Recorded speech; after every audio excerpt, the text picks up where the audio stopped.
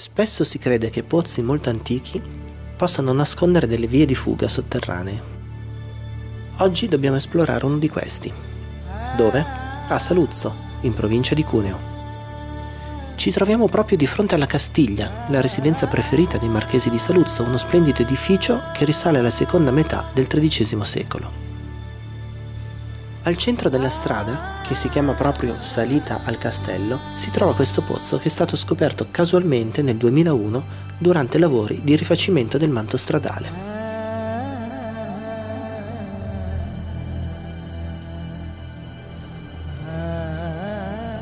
Da allora si è sempre ipotizzato che potesse nascondere un passaggio segreto, forse proprio a motivo della sua vicinanza con la fortificazione.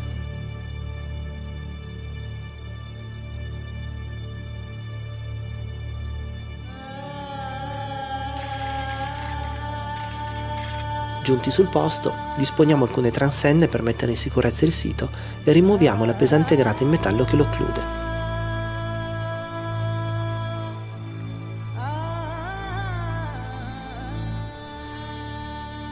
I ragazzi della Source preparano le attrezzature tecnologiche come il ROV subacqueo che probabilmente useremo per la parte allagata del pozzo.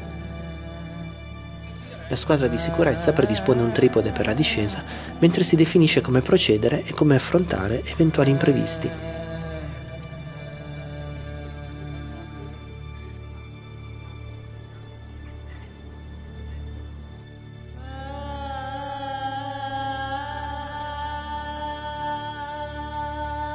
Qui siamo tutti molto curiosi, per cui è inutile aspettare ultime verifiche e giù, si scende.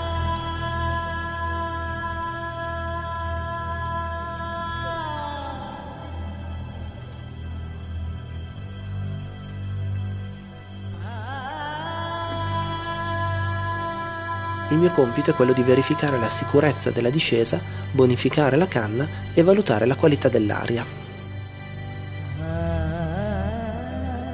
Mentre scendo provo a descrivervi ciò che vedo. Qui i laterizi sono posizionati di testa e affogati in abbondante malta. Certamente la vera è stata ridotta per la cessata esigenza di attingere acqua dall'acquifero sottostante e per garantire sicuramente più stabilità alla strada che anche carrozzabile. Intanto appare evidente che questo tratto di canna sia ben recente. È largo poco meno di un metro e mezzo, ma è chiaro che più sotto il pozzo si allarga.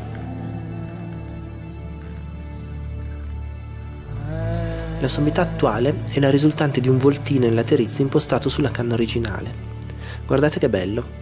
Io l'ho sempre detto che i pozzi sono più affascinanti visti da dentro. Il voltino è rinforzato da un arco che l'attraversa diametralmente, sul quale se ne imposta un secondo più piccolo, grande la metà, che scarica contro il primo. Nella metà rimanente si apre l'attuale canna dalla quale siamo scesi, logicamente decentrata rispetto all'asse primitivo. La nuova cupola, così creata, si appoggia su un altro strato di laterizi certamente preesistente. In questo secondo tratto, vedete come cambia bene lo strato?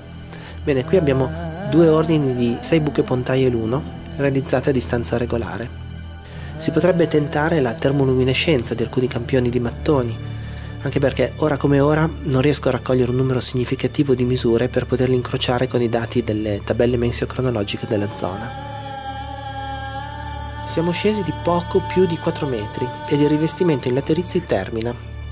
Adesso qui la cavità si mostra scavata nella roccia senza strutture successive di rinforzo e questo da un lato è positivo perché ci permette di leggere meglio eventuali segni. In questo segmento, chiaramente irregolare, un occhio attento può notare in diversi tratti i segni lasciati dagli attrezzi di scavo di chi ha realizzato il manufatto nella parte centrale.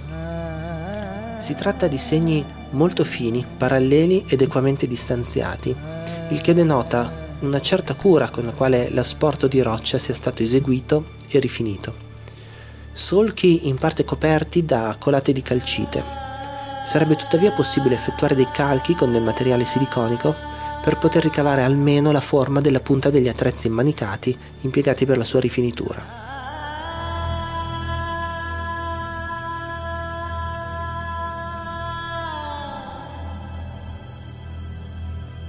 Decidiamo quindi di impiegare il rovo subacqueo per avere delle riprese della parte sommersa.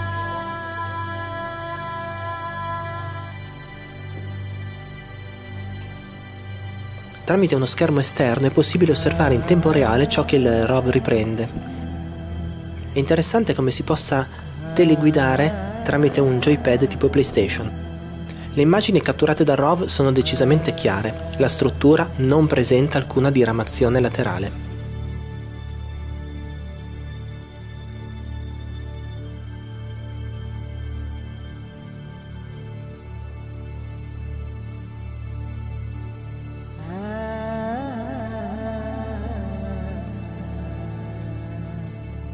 Decidiamo di procedere ugualmente con la calata dello speleo sub per ottenere un'ulteriore conferma dei visu.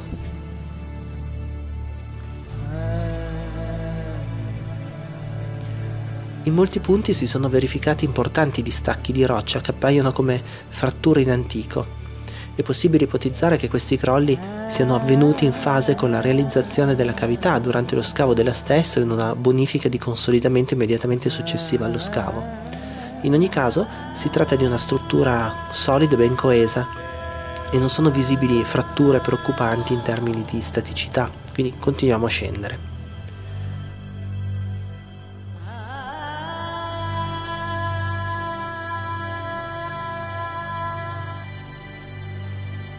La parte terminale della canna, così come quella sommersa, presenta uno scavo più grossolano e meno rifinito della canna in asciutto.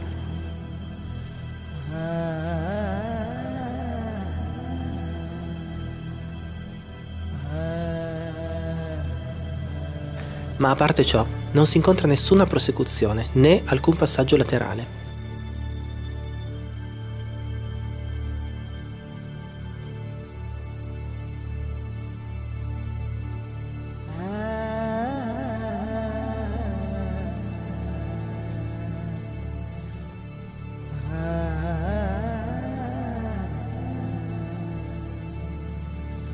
Purtroppo anche per questa credenza è tempo di dissolversi. In questi casi però non proviamo mai troppa delusione perché ciò che importa sono le risposte, positive o negative che siano, ma chiare e definitive. Alla prossima avventura!